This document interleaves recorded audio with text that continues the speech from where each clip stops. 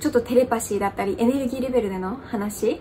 で言うと子供の頃できていたことっていうことで最近できなくなっていたことの感覚をこう取り戻したっていうのはあります。うん、この本を読んでからね。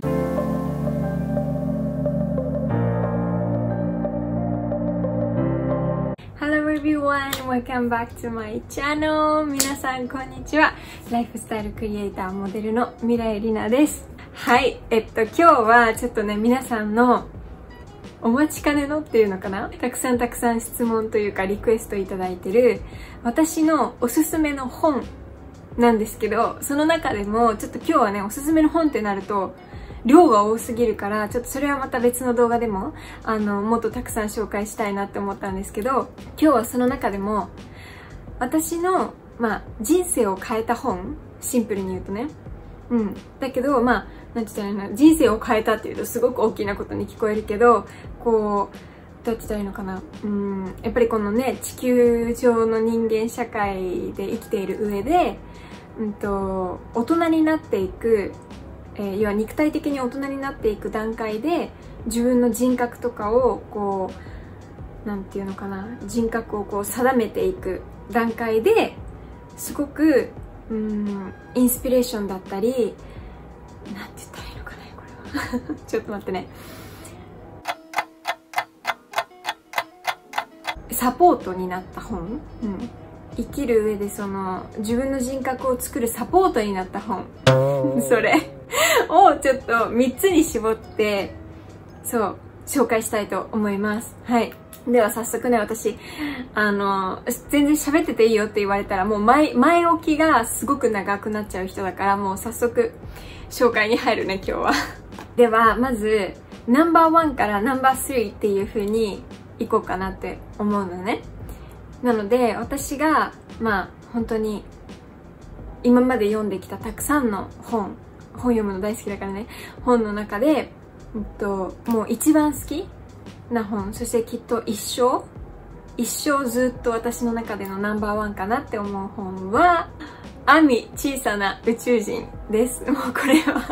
多分もうみんな知ってると思う。あの、インスタフォローしてくださってて、前からね、私のこと知っている方は多分もう、もう聞き飽きたっていうくらい聞いてると思うんですけど、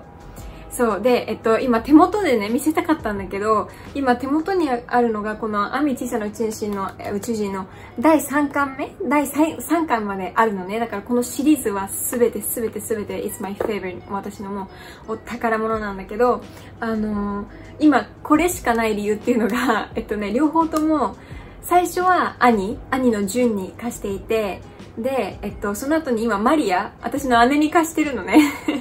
だからね、手元にないんですよ。どんな本なのってなんかね、ちょっとわからない方もいるかもしれないので、ちょっと一応なんか、あの、なんて言ったらいいんだろう、これって前書きっていうのかな、こういうね、オンラインショップとかのところに紹介文として書いてあるのを簡単に読みますね。少年ペドリートとアミと名乗る宇宙人との感動のコンタクト体験。宇宙を巡る旅の中でペドリートは地球が未だ野望な愛の度数の低い未開の惑星であることを教わる世界11カ国語に訳された、えー、ふふなんなんとかのロングベストセラーって書いてあるのね。それは本当にすごくコンパクトにまとめてあるから、あのー、あれなんだけど、ストーリーはもっと深くて、はぁ、あのね、これは、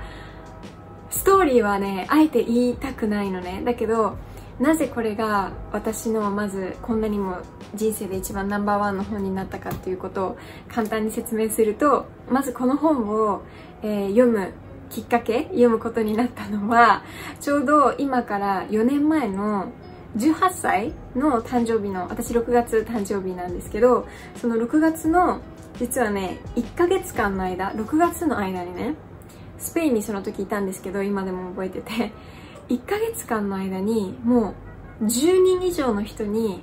このアミ小さな宇宙人を勧められたんですね。どういう風に勧められたかっていうと、あの、りなちゃんが、例えばみんなからも勧められてたの。そうそうそう。だから今私紹介してるけど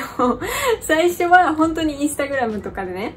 あの、なんかライブだったりとか、ダイレクトメッセージとかで、あの、アミ小さな宇宙人のことを書いてくれてて、みんなの、みんなのおかげで今私知ったんだけど、そう。でなんかりなちゃんがいつも言っていることがこの本に書かれているからきっと読んだらすごい好きになると思うってねいうことを本当に10人以上にあのみんなからもそうだしあとはあのお友達とか知り合いの人からとかもういろんな人に勧められたのよ。でそこまでいろんな人にさ1ヶ月間の間に言われたらやっぱり気になるじゃない？あの私はあ本はね読むのとても大好きなんだけどあまり小説を読まないんですね。ノンフィクションの本を読むのが好きなので勧められない限り本当に読まないんですけどそれでまあ結局日本に帰ってきてもう速攻でその本を買って 読み始めたらもうね読めば読むほどなんか何があった何が起きたかって私の中で中にある世界 私が信じてるその真実というか私が本当はこれが現実だって思っている世界というものがその「アミ小さな宇宙人」の本の中に全部書かれていたのねだからもうなんかもうどうやって言ったらいいんだろうね もう「What?」ってもう読んでてももう何回もこう「えみたいな感じでねなってでもうあまりにも好きすぎて私実はね本を読むのがものにもよるんだけどとても遅いのね。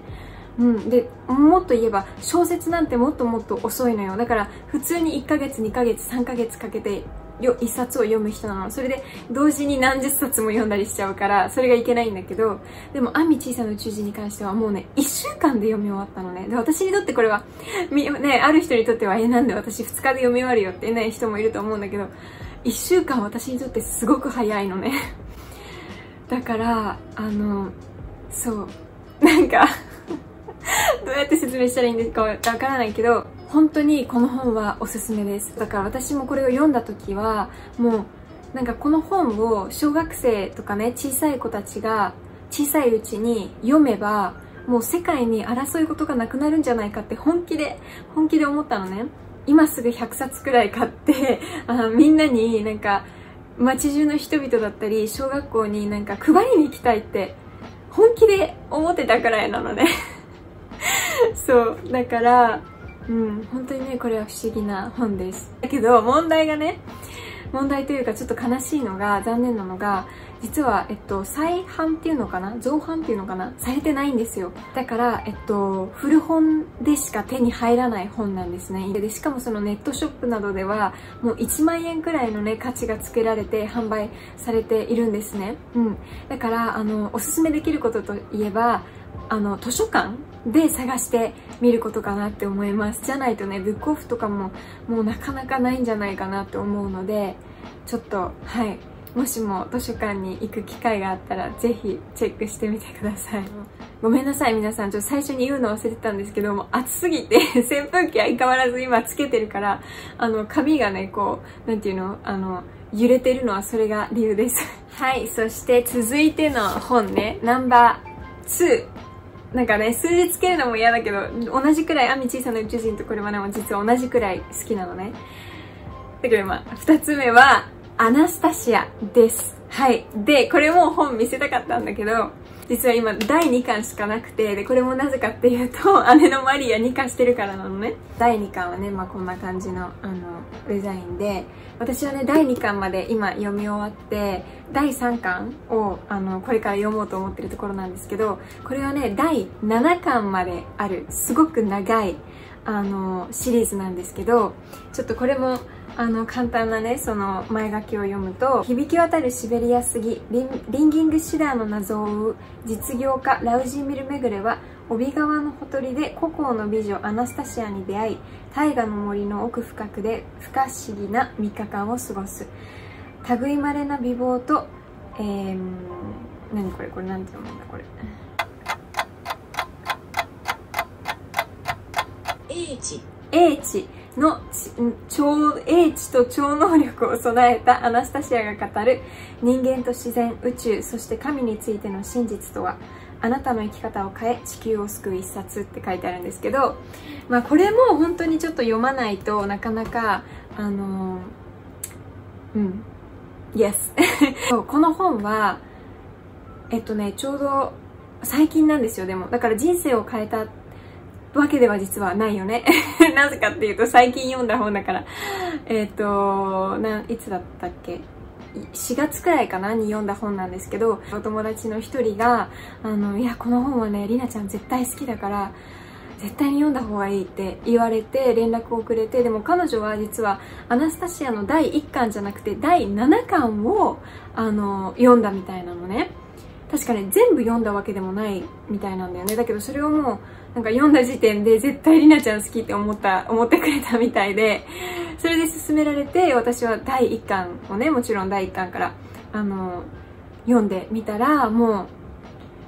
うもうこれも本当にねあなたミラコだよね。もう私の感想で言うと本当に自分の中にあったある真実っていうものが書かれてるのとあとはこうねなんかね読んだらわかるかもしれないんですけどすごくね癒しのパワーがあると私は思ってる。プラスものすごくこの本からあのあのなんだろうなこの本を読んでからえー、変わったこと人生変わったことといえばなんかねいろいろな感覚を思い出したの。だからなんか子供の頃はもっとこうなんだろうななんだろうな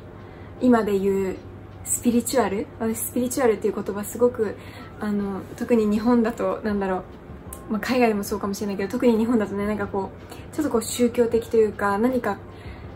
こう誤解のある風にねなんか捉えられるからあんまり使いたくないんだけどこ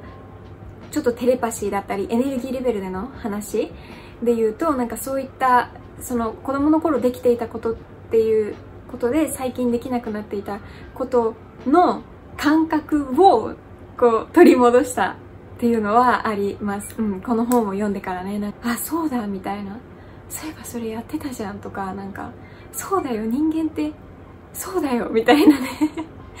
そういえばできるじゃんみたいな。なんかこういろんなものを思い出しました、うん、だからこれも本当にアンミ小さな宇宙人と同じくらいあの大好きでとてもとてもおすすめな本です。はいそれではね今日紹介する本の中ではこれで最後になるんですけど3つ目はダラーンこれだけ ちゃんと手元にある水は答えを知っている、うん、その結晶に込められたメッセージっていうね、えっと、江本勝さんの本です。これ知ってる方多いんじゃないかなね。世界31カ国で話題のロングセラーって書いてあって、えっと、ちょっとまたね、簡単に前書き、ストーリーをあの読むと、水にありがとうという言葉を見せると、形の整った綺麗な結晶を作る。一方で、バカ野郎という言葉では美しい結晶はできない。言葉によって声によって写真によって全く違う顔を見せる結晶は私たちにどう生きるかというメッセージを伝えてくれるこれはえっとねこれは私はこのストーリーっていうのはもうずっと前から知っていたことで、うんと、その言葉にある力だったりとかその言葉が水にどういう影響を与えるかとか要は波動だよね、うん、最終的には。その波動のその影響のもたらし合い方っていうのはあの頭には入っていたんだけどだけど実際にこの本を読むのは初めてなんですね。でこれをだから読んだのが1ヶ月前くらい。だからこれも要は、まあ、人生を変えたって言ったらちょっと違うけどでもこうなんだろう。私の真実が入ってる本。そういうことにしとこう。これタイトル変えた方がいいかな。人生を変えたじゃなくて、私の真実の本にしようか もうね、これ本当に写真とか載ってるので、あの、もうとってもわかりやすい。本当にでもね、もう不思議で不思議で不思議で不思議で不思議で。もう、例えばちょっとわかりやすく、なんか一個だけ紹介しようかなと思うんだけど、例えばね、ありがとうって書いた、えっと、その、なんだろう、文字を見せた水が作ったこう結晶っていうのはこんなに綺麗なんだけどこのいろんなねいろんな国の言葉でもこういった綺麗な結晶を作るんだけど例えば「バカ野郎」っていうのを見せるとこんなほらもう結晶じゃないよね。見えるかな？そう。でもそういうのがねこうこうやっていっぱいあってでまあ写真ももちろんなんですけど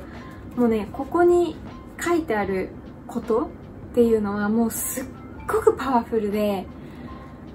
うん、これはなんか本当に教科書になるべきだよなって私はね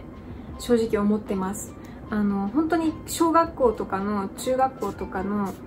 教科書であるべきだと思う。うん。うん。本当に。そうだからこれもとってもおすすめです。あのなんか読んでいるうちに私の感想で言うとこ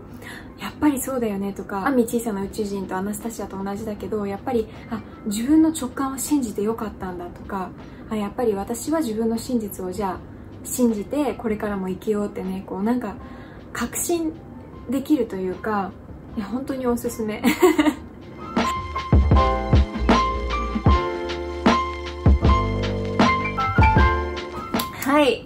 ということで、ちょっと、ああ、とっても長く話しちゃった。私は5分から10分で収めようと思って動画をポチッとつけるんですね。だけどなんでかわからないけど いつも終わる頃どんくらい話したかなって見ると、例えば今もう25分、うん、になってるのね。もちろん編集するから短くなると思うんだけど、実際にはそのくらい話してるんですね だから本当に皆さんいつも私のあの長いトークを聞いてくれていつも YouTube だったりインスタをでねあのサポートしてくれて本当に本当に改めてありがとうございますもう皆さんの存在はもう愛愛でしかない本当に本当にありがとうね。Thank you so much. では、えっと、今日はね、こんな感じで私のまあ人生を変えたなのか、私の中のある真実を